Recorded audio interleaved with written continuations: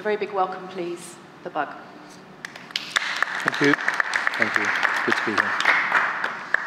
So I, I hear on the grapevine that you have drained all of the subs in Istanbul for the show tonight. Is this true? And what can we expect? Um, there's actually not enough, to be honest, uh, for what we normally ask for. Mm. And the original amount of um, speakers that were being uh, allocated to this event just wasn't enough for what my re- personal requirements are. On my con- contract and rider, it generally asks for a specific amount of uh, ba- bass pins, which are generally more than a venue will normally provide. Just because for me, the impact of my music should really mirror the impact of having a deep body massage and having first moved to London and, and discovered the joys of Jah Shaka, Iration Steppers, Aba Shanti, reggae sound system events. And unfortunately, a lot of clubs you play just think you're a lunatic when you ask for more bass, more bass.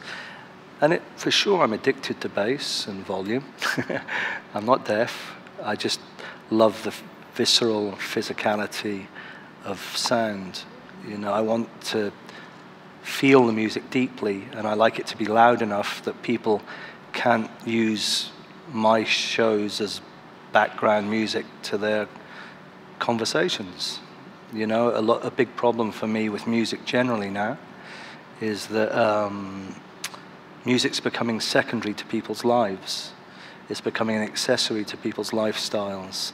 And for me, music changed my life, and music generally is capable of, of amazing things physically and psychologically. And I just think that the more music becomes relegated to a, a cheap accessory, the less people will realize there's great magic in music as a, as a form. And how does volume make people realize that there is magic in music and it should be at the front of your life, not as an accessory? Um, when I started my music career, I probably just wanted to use volume as a sadistic tool to make people suffer. Because I was suffering at the time and I needed an outlet. And I probably have said that I was happiest when I was clearing rooms. I was quite happy to clear rooms, without a doubt. That was a, a, a victory at, when I started making music. Um, but subsequently, my whole, obviously having made music for a fair amount of years now, my, my, my, my ambition for what I want to achieve with shows has changed. And I think that um, I'm no hippie, but I believe in music as a transcendental power. You know, that it can take you out of yourself. And for me, I stopped taking drugs and drinking many years ago because I felt that there was other ways to achieve those mental states and physical states. And I actually think music can do that and does do that. And for me, I can get high as a kite off music, and I can love feeling an avalanche of sound that it feels like a, an experience I can't get anywhere else or any, in, in any other manner that fulfills that sheer density of impact on my central nervous system. And I think you can achieve mental states through sound that you can't achieve in other ways. So for me, really, it's just to, to give people an experience that we used to talk about in King Midas Sound with uh, Roger and I.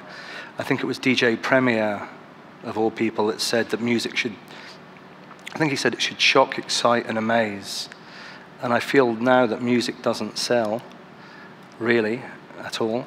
uh, that what does sell is an experience. And you want people to evangelize for you and to spread the word, you know. And for sure, some people at concerts, venues that I pull into, or members of audiences that I've performed to, probably think I'm borderline insane for playing at the, the volume levels I play at.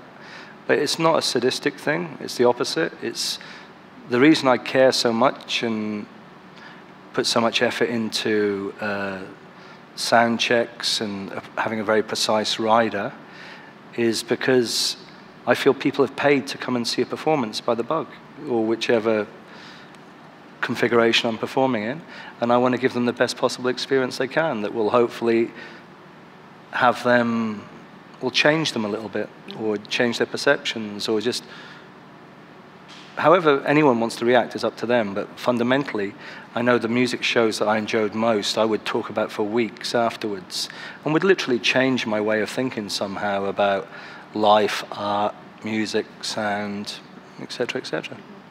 So you're talking about the show that you're going to be doing in there mm-hmm. tonight. Can you tell us who you've brought with you on stage and also behind the scenes? Yeah, I, uh, for this show in particular, I'm uh, working with Miss Red. Mm-hmm. Miss Red is uh, an Israeli MC I've been working with since I think she was 19 when she uh, she stole the mic a show I played in Israel. Always Literally. a good maneuver. and then uh, another really integral part of my touring uh, experience is uh, my secret weapon, who's called Go Nakada, who's uh, like a little brother to me. He shares a lot of the same aesthetics in music, and he's my sound man. Mm. And not many electronic artists travel with their own sound men. Um, but for me, he's a crucial, crucial part of, uh, of our setup. A, because he's a dub head, he knows how to dub out Miss Red's vocals in the way I would in the studio. Mm-hmm. B, technically he's incredible. He's very conscientious. He takes his job seriously. And he knows that the levels of, of um, physicality that I want to achieve because he, he and I share very similar musical tastes. Also, he's Japanese and he plays the card of, sorry, I don't speak the language when people are interfering with him and his job. And also, uh, it's just good to know there's someone out there who will know what the balance should be I made the decision to have sound men tour with me because I'd be playing shows where people would say either they couldn't hear the vocals or the music wasn't loud enough or it was, it was just weak in some way. And like I said, I think people pay for a, a concert and deserve the best that they can get. And for me, it's a position of trust, and I know I can trust Go implicitly because his tastes and mine are so aligned. Mm-hmm. So there's a, um, a research unit in London at Goldsmiths University called the Bass Culture Research Unit.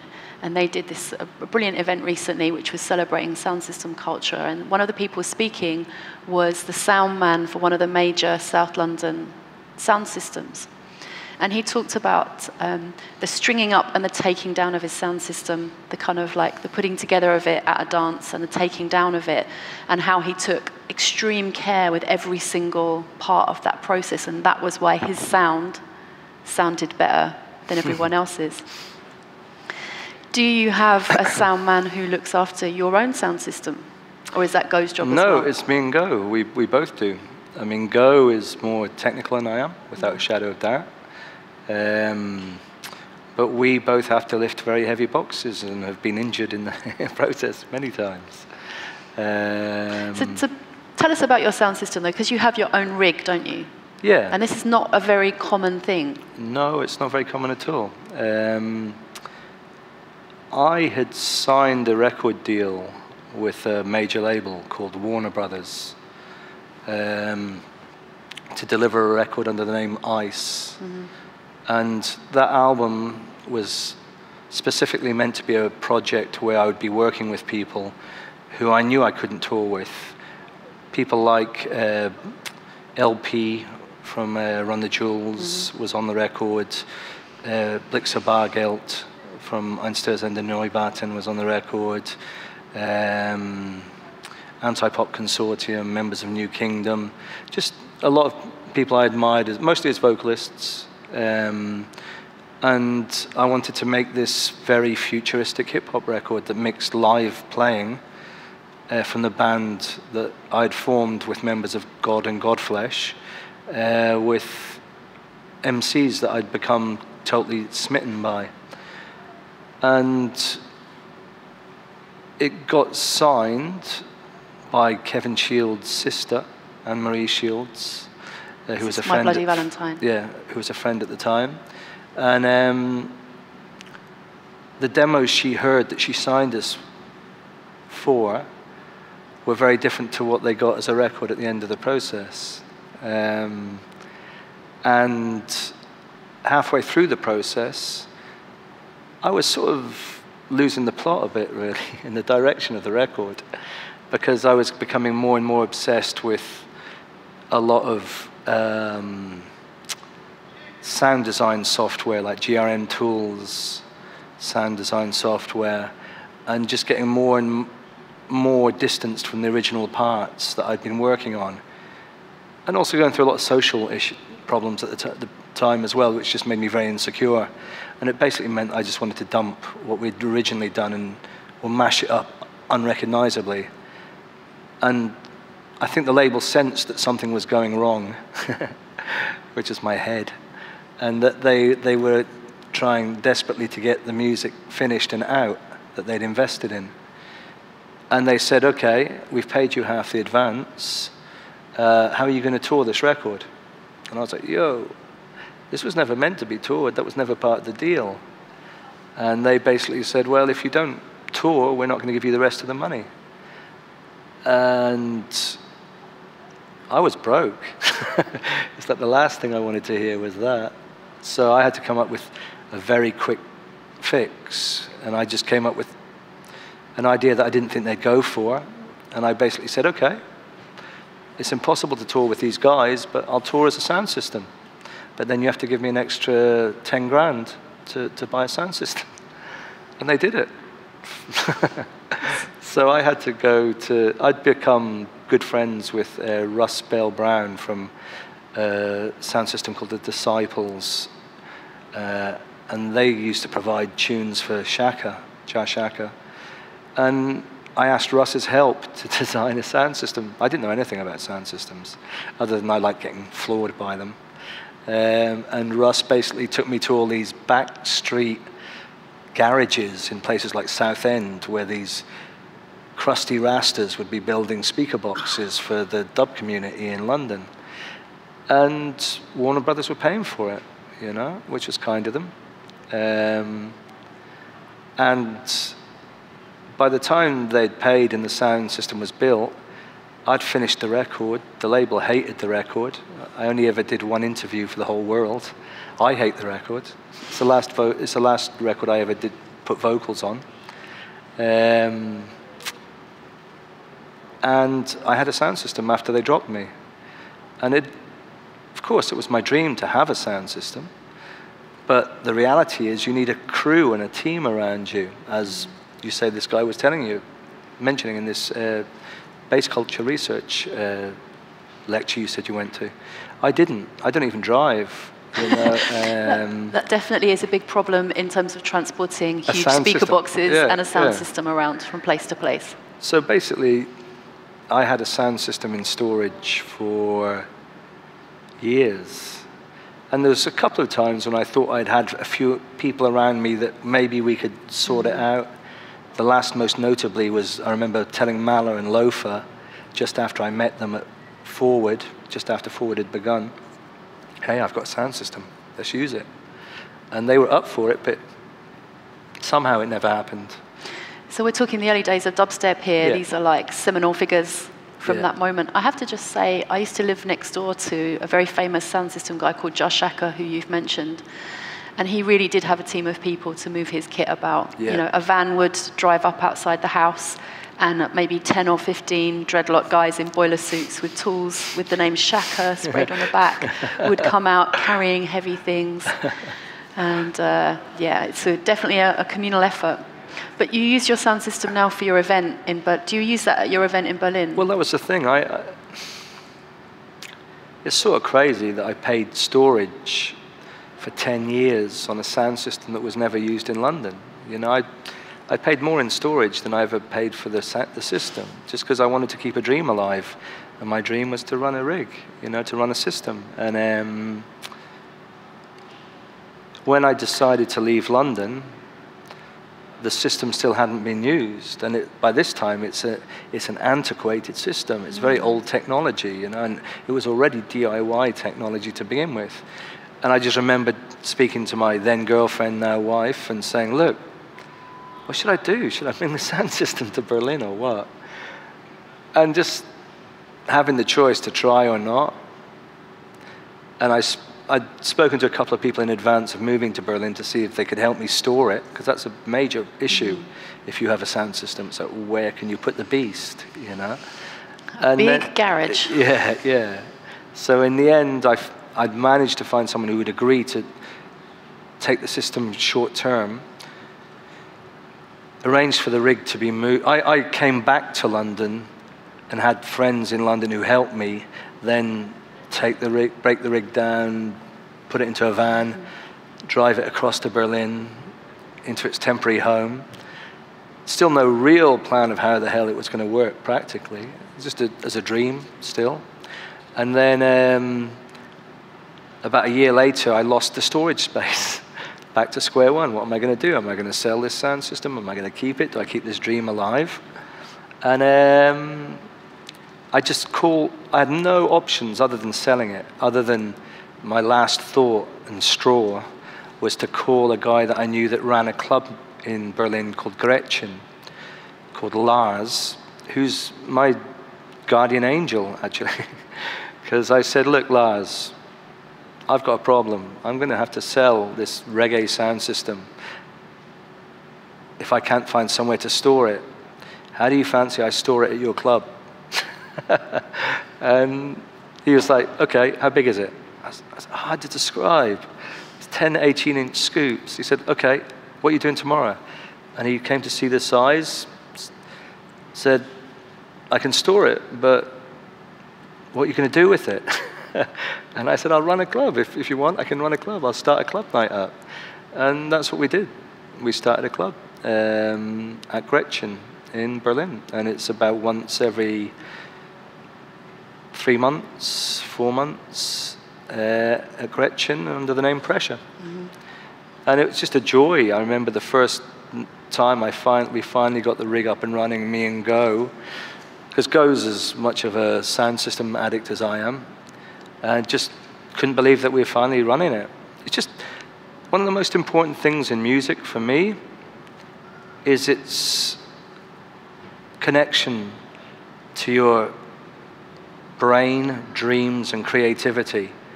You know, I, I'm no Satanist, but I believe in Aleister Crowley's philosophy of making will real, you know, and, and making dreams real.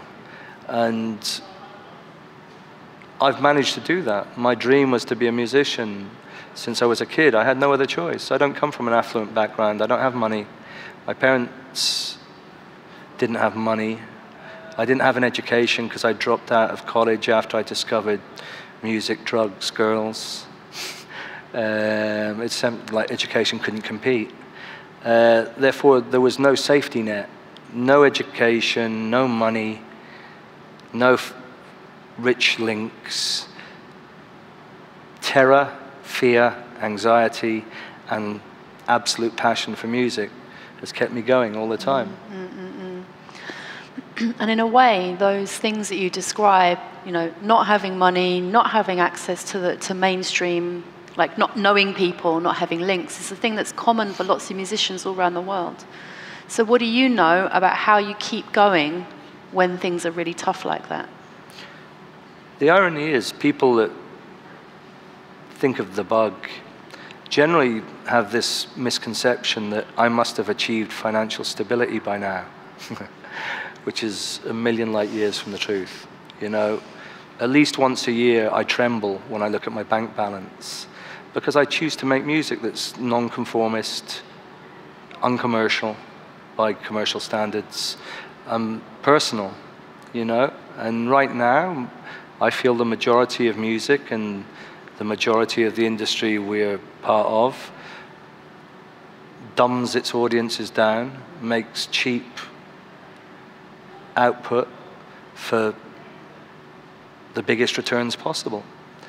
And of course, I could make whatever music's current to try and jump the latest craze, wave, whatever.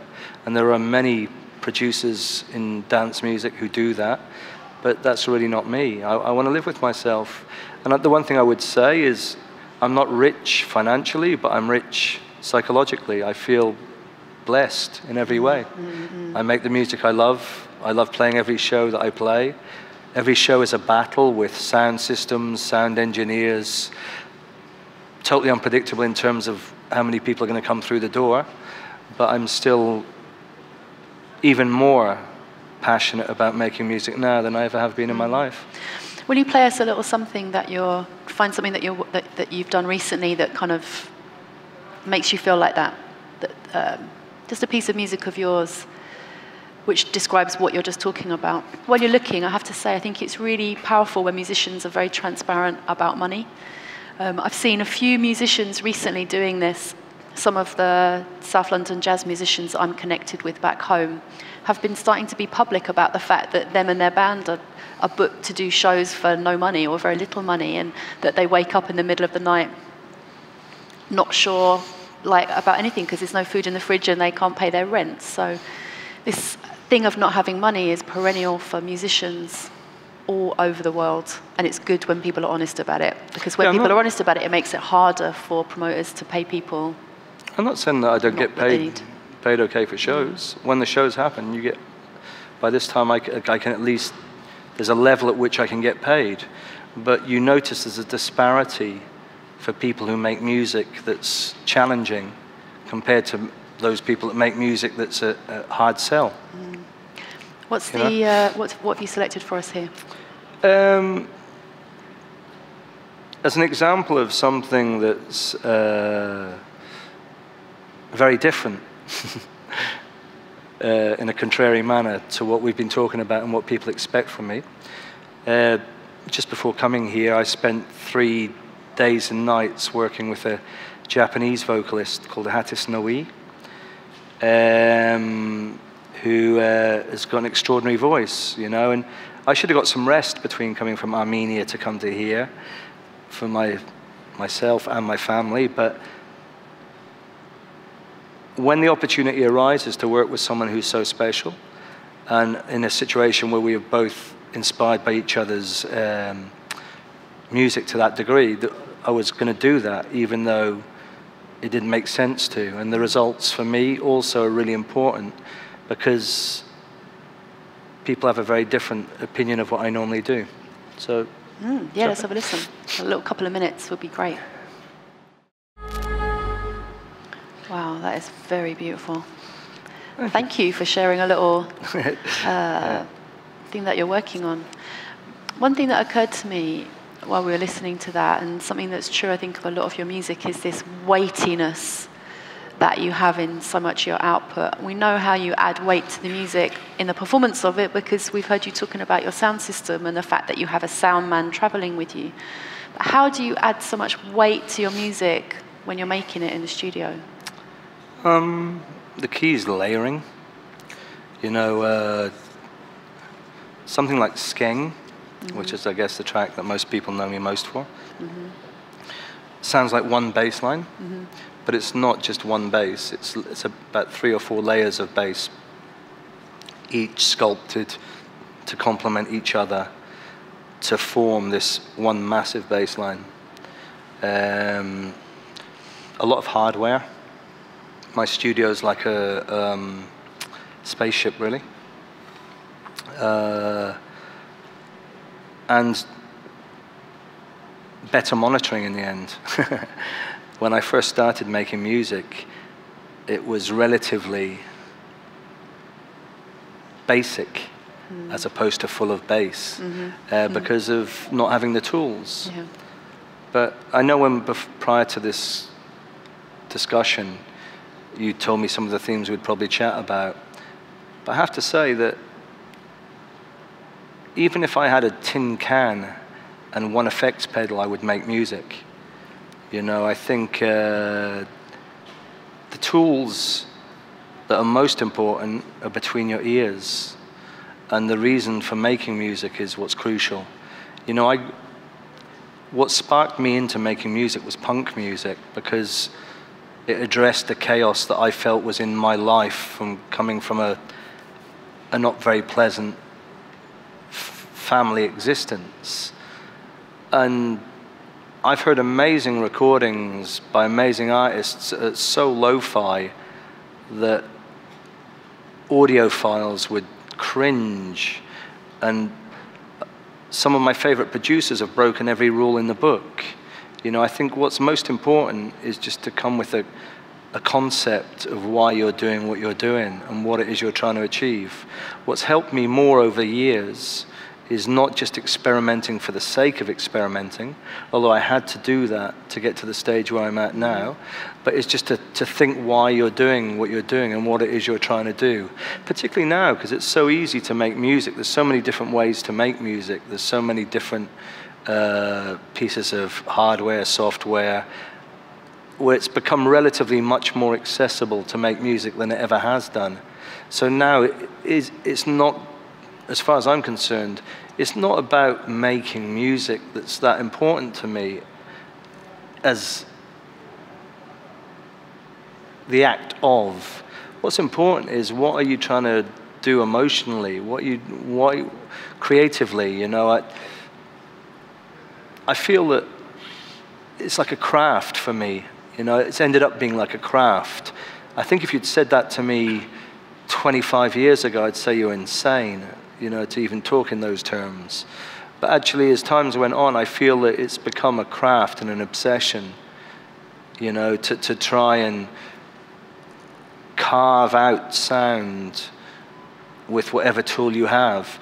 And the challenge is just how you can make it sound personal mm. when you're dealing with inanimate objects. I mean, some of you guys might be, you know, at that point in your music making journey where you're, you know, doing stuff but maybe don't have access to a ton of kit. If you were to cast your mind back to that version of you, what would you tell that person? What do they need to remember? When I started, all I had was a saxophone and some effects pedals, and my sampler was a CD player that had an A point and a B point, and you could make loops of the, any, in any stage of any CD you listen to. And the first Techno Animal record, in fact, the second one too, I think, um, was just made up of me writing down the, uh, the numbers for each tiny piece of music that I wanted to sample. And then I would go to Justin's studio in the Midlands, and he would he had a sampler, I didn't, and he would make it into a, a loop. Um, and the reason I mention this is just because where there's a will, there's a way. Mm-hmm. You know, you beg, borrow, steal. I've done all those things to make music. Um, because I needed to make music. You know, it's like, like I said, it's, uh, it goes beyond just being, I didn't make music to be famous. I couldn't give a shit about being famous. That's a, a non-entity. I didn't do it to be rich. I did it because I had to, to stay sane. You know, and it's, the mu- my music world is almost like a parallel world to the crazy world we all have to live in. It's my way of trying to descend, like, find some form of beauty in the world and, and understanding, you know, and it's my way of translating the madness of it all. And that's always been the case. I sometimes question, like, my, my father was a musician, my grandfather was a musician, my mum was obsessed by music. She had speakers in every room of our house playing terrible heavy metal all the time. But it's in me since I was a kid. And my way of escaping my the sound of my parents fighting and beating each other up was to put a pair of speakers on either side of my head and just drown it all out. And in a way, that's never changed. Maybe I've just never changed. there is no sense of progress. Um, I think that I made music because I couldn't and didn't want to do anything else. I made a choice wherever possible, whenever possible. I didn't want to work for anyone. I've never had a proper job. and my mum always said, music's not a proper job, you should get a proper job. And I've still never done it, really. Uh... I remember hearing um, someone from New Order, you know, like obviously huge band, have, talking about the same discussion with their parents and them saying to their mum, "Oh, I can't come round for tea on Sunday because I'm going for an. In- I've got an interview," meaning they were being interviewed by a journalist, and their mum was like, "Oh, thank God." You're getting a, what's, the, what's the interview for? Like hoping upon hope that it was actually a job interview and that yeah. he might actually get a proper job. You just mentioned that you started off with a saxophone. Now you, you, you kind of started off as a saxophone player, and I wondered, you know, some of you guys may be using live instruments in what you're doing as well, like where live instrumentation sits in what you're doing and who you're collaborating with at the moment. Hmm. Um, you know, I was talking when I, the track I played you by um, Saki by Hatis Noit, she came to the studio with the guy that runs the Erased Tapes label, Rob, and we were talking about. Uh, how I make music, and they were asking me how I made this X sound, Y sound, or Z sound. And I, I wasn't being elusive to try and hide my secrets. Mm. I literally am happy when I can't remember how I, I found the original source material. You know, like I said, I have a, a luckily, any money I have made out of music has went straight back into music, to my studio.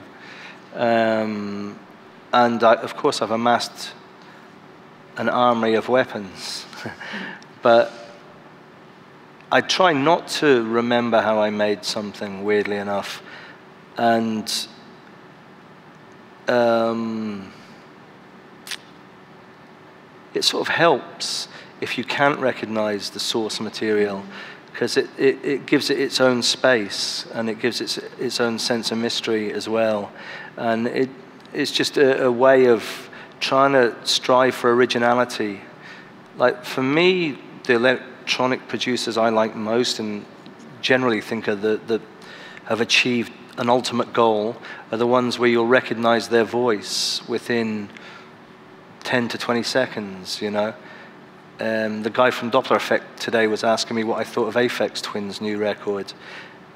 Richard James, you can recognize his voice quick, you know, in, in sound and that's been my goal is to find out what Kevin Martin's sound is, you know, and have I been able to translate my emotions and my personality through sound?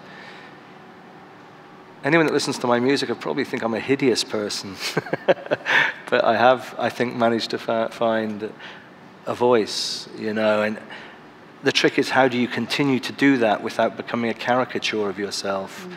you know, and how do you how do you grow as an artist? that track I just played you, I don't think I would have able. Well, actually, maybe there was, there was tracks for Techno Animal we made in, in that area, but